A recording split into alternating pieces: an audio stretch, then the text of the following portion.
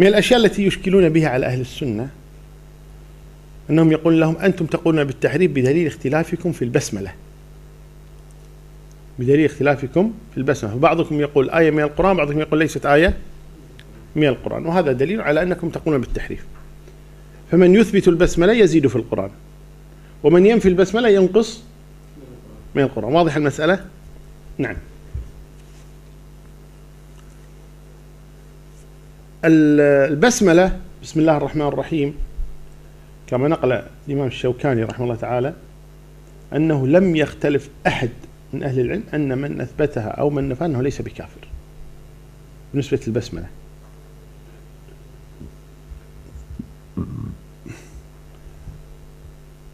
والبسملة على الصحيح من أقوال أهل العلم أنها آية مستقلة ليست تابعة لأي سورة من القرآن. ومن نفاها من أهل العلم إنما هذا بسبب اختلاف القراءات. والذي ينظر في قراءة حمزة يرى أنه لا يذكر البسملة أبدا. حمزة لا يذكر البسملة بين السور. وإذا اختار الإمام الشنقيطي رحمه الله تعالى أن الاختلاف في البسملة بسبب اختلاف القراءات. ففي بعض القراءات يعني من الصحابة من سمع النبي صلى الله عليه وسلم كان يسمعه إذا قرأ السورة ذكر البسملة. ومن لم يذكر البسملة كحمزة وغيره إنما لأنه الطريق الذي أخذ منه عن النبي صلى الله عليه وسلم فيه أن النبي صلى الله عليه وسلم كان إذا قرأ سورة بعد سورة لا يبسمل بينهما فلم يكتبها فلم يكتبها. فالبسملة إذا ثبوتها وعدم ثبوتها بسبب اختلاف القراءات فقط.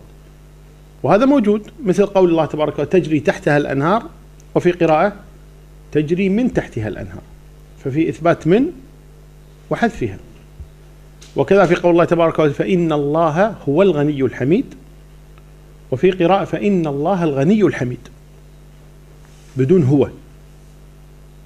وهذه قراءة صحيحة وهذه قراءة صحيح. فليس الاختلاف في القراءات فقط في الفتحة والضمة والكسر لا أيضا أحيانا في إثبات كلمة أو نفيها. هنا الكلمة واحدة كرسم. نحن نتكلم عن رسم أن تحذف من هنا وتضاف هنا. فبسم الله الرحمن الرحيم تحذف في قراءة وتضاف في قراءة. وكذلك هو في فإن الله هو الغني الحميد أو من تجري تحتها أو تجري من تحتها الأنهار وهكذا. فالاختلاف في البسملة يساوي اختلاف القراءة. ثم مع هذا كله قلنا ونعيد نكرر أنه لا يشنع على أهل السنة في هذا إلا الشيعة. وقد جاءت عندهم روايات عن جعفر الصادق أنه سأله أحدهم قال أقرأ الفاتحة فلا أبسمل قال لا بأس لا بأس. فدل على أنها كذلك عند جعفر كما هو الأمر عند أهل السنة والجماعة. فاتهامهم لأهل السنة بالتحريف بحيث أنهم إذا قرأوا الفاتحة مثلا يقولون الحمد لله رب العالمين ولا يبسملون نقول لا يبسملون هذه لها وجهان. الوجه الأول أنهم يبسملون ولكن سرا وهذا مذهب آه، أحمد وأبي حنيفة. وإما إنهم لا يبسملون لأنها في قراءة غير ثابتة وهذا مذهب مالك. أن بسم الله الرحمن ليست آية من الفاتحة أصلا.